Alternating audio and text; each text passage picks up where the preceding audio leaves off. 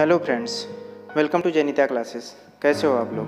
दोस्तों, आज हम मैग्नेटिज्म की लेक्चर टू पर, लेक्चर टू देखेंगे। इसमें हम देखेंगे बायोट सवाट तो हमने देख लिया था। अब हम उनकी देखेंगे vector form of Biot Savart law, कि वेक्टर फॉर्म में हम बायोट सवाट लॉ को कैसे रिप्रेजेंट करते हैं। D B vector small small magnetic field equal to mu naught upon four by I d l current element है I d l sine theta upon r square and n unit vector. क्योंकि cap लगाया तो n unit vector. N unit vector perpendicular to the plane of the ideal vector and और vector. क्योंकि हम जानते हैं कि क्रॉस प्रोडक्ट क्या होता है? Both product, both vector product के क्या होता है? परपेंडिकुलर होता है। मतलब बोथ प्लेन के क्या होता है वो? दोनों प्लेन के परपेंडिकुलर होता है।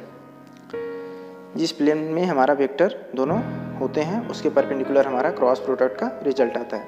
तो d B vector equal mu naught upon four pi I d l vector cross r vector upon r cube क्योंकि ऊपर तो आर आता, क्योंकि I d l cross r equal to होता है I d l r sine theta n cap तो first वाले ऊपर वाले रिज़ल्ट में हुआ क्या था कि आर हमारा कैंसिल हो गया था तो इसलिए आर स्क्वायर आया था।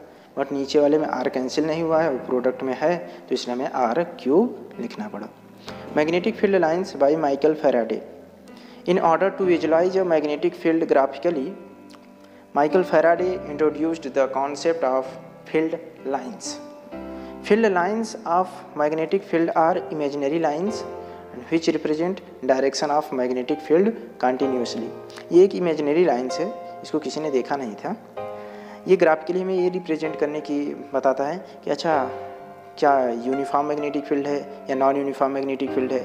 मैग्नीट्यूड कांस्टेंट है या मैग्नीट्यूड कांस्टेंट नहीं है? ये सब चीज़ें हमें बताता है, ठीक है? बट ये एक इमेजिनरी फ़ील्ड लाइन्स है। और हमें ये क्या बताता है? डायरेक्शन को बताता है और फ़ील्ड हमारा अगर बदल रहा है तो उसको बताता है। जैसे आप यहाँ नीचे ग्राफ में देखोगे कि नॉन यूनिफॉर्म फ़ील्ड के लिए दिखाया है कि आप देख रहे हैं पहला कि पैरल लाइन्स तो हैं बट या तीन देख रहे होगे कि तीन लाइन्स हमारे बिल्कुल पास पास हैं और एक लाइन्स दूर है।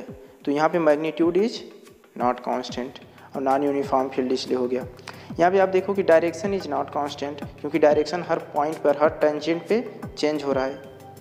यहाँ तो डायरेक्शन कांस्टेंट था बट यहाँ पे डायरेक्शन भी चेंज हो रहा है क्योंकि स्लोप चेंज हो जाएगा।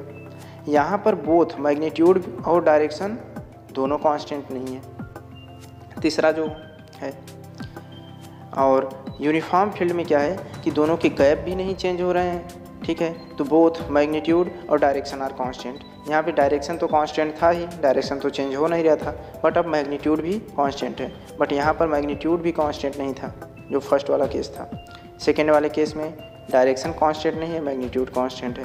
एंड थर्ड वाले केस में ना तो मैग्नीट्यूड कांस्टेंट है और ना तो डायरेक्शन कांस्टेंट है. एंड फोर्थ वाले में मैग्नीट्यूड भी कांस्टेंट है और डायरेक्शन भी कांस्टेंट है.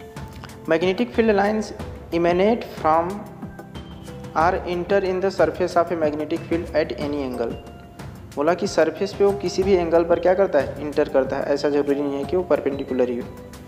Magnetic field lines exit inside every magnetized material magnetic field lines can be mapped by using iron dust or using compass निकल हम इसको क्या करते हैं? मैप्ड कर सकते हैं कि अच्छा मैग्नेटिक फ़ील्ड लाइन्स किस तरह से निकल रहा है या कैसा बिहेव कर रहा है। इसको पहचानने के लिए या तो हम करें क्या कि आयरन का डस्ट छिड़क देंगे। जब आयरन का डस्ट छिड़क देंगे तो आयरन भी जहाँ पे मैग्नेटिक फ़ील्ड लाइन्स स्ट्रॉन्ग होगी, वहाँ पर आयरन ज़्यादा एकुमुलेट हो जाएगा, ज़्यादा इकट्ठा हो जाएगा और जहाँ पर मैग्नेटिक फ़ील्ड लाइन्स कम होगी, वहाँ पे कम इकट्ठा होगा। या कंपस नीडल से हम जान सकते हैं।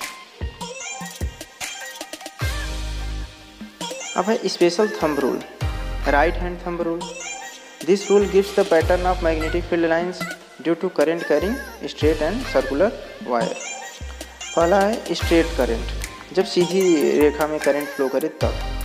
थंब थंब हमारा क्या होगा? In the direction of current होगा. जिस डायरेक्शन में करंट फ्लो कर रहा है, वो हमारा थंब का डायरेक्शन होगा. एंड कर्लिंग फिंगर जो ये हमारा फिंगर जिस तरफ़ मुड़ रहा है, वो हमें क्या देगा? गिव्स फ़ील्ड लाइन्स पैटर्न ये हमें फ़ील्ड लाइन्स पैटर्न देगा तो हमारा फ़ील्ड लाइन्स कैसे पैटर्न दे रहा है? जैसे केस फ़र्स्ट है कि wire in the plane of the paper to see from the top और अब ये हमारा जो फिल लाइन पैटर्न है वो क्या है? Anticlockwise direction A C W concentric circular field lines होगी कॉन्सेंट्रिक सर्कुलर फ़ील्ड लाइंस मतलब जैसे जैसे हमारे क्या ये वायर से जैसे जैसे दूरी बढ़ती जाएगी, उस हिसाब से हमारा फ़ील्ड लाइंस कॉन्सेंट्रिक सर्किल देगा। लेकिन एक सर्कुलर लूप में हमारा फ़ील्ड लाइंस कांस्टेंट होगा। ठीक है? और जब हमारा ये देख रहे हो कि करंट नीचे वर नीचे है डाउनवर्ड है तो हमारा जो फ़ील्ड लाइंस है, वो क्या है? क्लॉकवाइज डायरेक्शन है। And concentric circular field lines case second है, जब हमारा wire is perpendicular to the plane of the paper हम जानते हैं कि डॉट हमें क्या दिखाता है? परपेंडिकुलर प्लेन मतलब प्लेन से ऊपर की तरफ़ आ रहा है। तब हमारा एंटी क्लॉकवाइज डायरेक्शन है। क्या है? Anti clockwise direction and concentric circular field lines but अगर जब क्रॉस होता है मतलब in the in the plane मतलब जो हमारा प्लेन है, उसके अपोजिट डायरेक्शन में मतलब अंदर की तरफ़, तब वहाँ पर हमारा फ़ील्ड लाइन्स है। Clockwise direction concentric and circular field lines second case देखते हैं, जहाँ पे है सर्कुलर करेंट क्या? सर्कुलर करेंट मतलब जो हमारा वायर है ना वो सर्कुलर लूप का है और उसमें करंट फ्लो कर रहा है। जब सर्कुलर करंट फ्लो करेगा तो जो एक कर्लिंग फिंगर है, वो हमें क्या देगा? डायरेक्शन ऑफ़ द करंट दे देगा। और जो थंब है, ये हमें अब क्या देगा? Gibbs field line pattern just opposite हो गया।